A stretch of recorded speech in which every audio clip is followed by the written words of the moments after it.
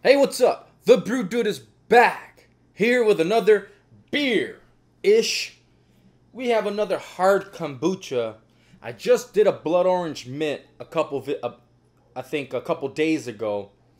This one here is the same company, Juneshine. It's a hard kombucha, six percent, based in San Diego.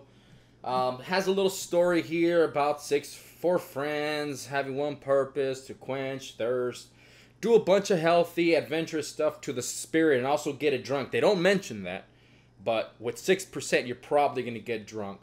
Ingredients: ginger, lemon, green tea, honey, and June kombucha. I see a lot of the June kombucha. I wonder if it's that's um the the the base that they're using, a kombucha that they have, and then they just add these infuse it with these flavors. I, I don't know. I did see a video online which is very corny.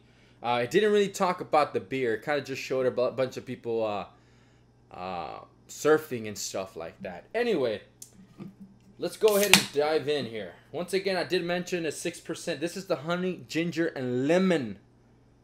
I like all those ingredients. It smells like none of those. Actually, it does smell a little bit like ginger. The fruit. So let's pour this bad boy. Definitely a different color than the other one. This one has a little bit more of that. Anything, anytime you usually get something that's ginger and like lemon, it has this color. It's like this. Um, I think it's a neutral color that the color gods come and say, "Hey, you're gonna add ginger lemon. It has to be that color. If it's not, then you can't use it." I don't smell lemon. I smell ginger. It smells like a light, kind of probably a diet version of some type of ginger soda. Just very light. Uh. All right, well, let's try it. It's murky. It's that yellow kind of honey color. It's almost this color here. Uh. All right, let's go.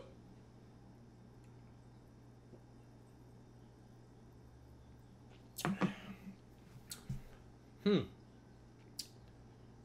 Ooh, I like it. It's de- definitely sour. Slight bitterness from probably lime or lime zest they might have used. It's less sour than the blood orange mint that I had uh, a couple days ago. In either one, you don't taste the alcohol. So that's one thing. You're not going to taste the alcohol. You do feel it eventually once you start drinking this, but you don't taste it, which is good. Um, right off the bat, it's it has a little ferment like uh, effervescent bubbles to it. You taste that little fermented funk that you kind of get in kombucha. It's almost like a spoiled fruit kind of a taste or aroma.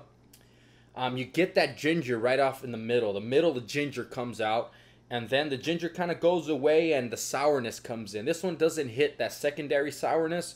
It starts mid range, and it just kind of flows out with it. But it's a lot less. Uh, uh, it's a lot less. The, the strength is a lot less than the uh, blood orange mint. The blood orange mint was just. It had something that elevated in the second half, which kind of made it a little bit tart, too tart. And I mean, I just don't know how um how a person can kind of like I get it, six percent, right? But how many can a person drink of this, right? Like, what's the purpose? Is the purpose to kind of get you slightly like buzzed, and at the same time, uh, diarrhea? I mean, uh, uh, probiotics and beneficial bacteria in your stomach, which will help you digest your food and uh, give you uh, health in your uh, digestive system, aka make you go to the bathroom, because that's exactly what happened to me in the last one. Too much information, but yeah, uh, it's good. It's not bad. It, but like I said, you know, I'll enjoy it without the alcohol too. Like, it's not like I'm gonna go to a bar and get a six pack and show up and everybody's just I'm gonna drink six of these bad boys. I'd probably be sick.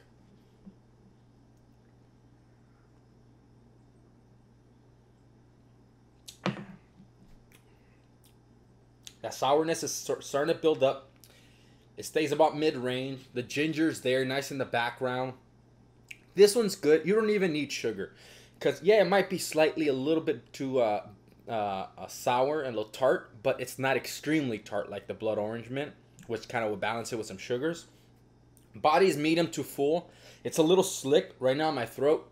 I feel like a little kind of like slick, mucusy, almost like if there's like these hidden sugars in there, obviously from the fermentation or the fruits, the natural fruits. But uh, it's good. It's good. It's good. It's really good.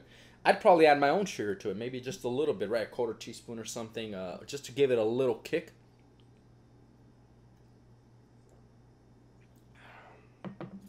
All right, well, that's the June Shine. Hard Kombucha, San Diego, California. 6% alcohol by volume. Keep Please keep refrigerated or explode.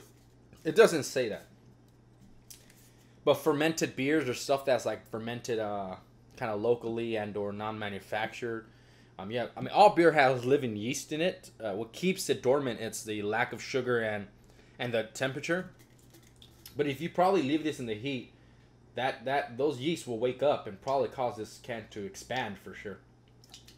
Anyway, this is not a science um, channel. This is a channel where I drink stuff, share my experience so that you can have a good experience and not make the mistakes that I probably would make. Anyway, thank you for watching, subscribing, and liking. And with that said, the Brew Dude is out.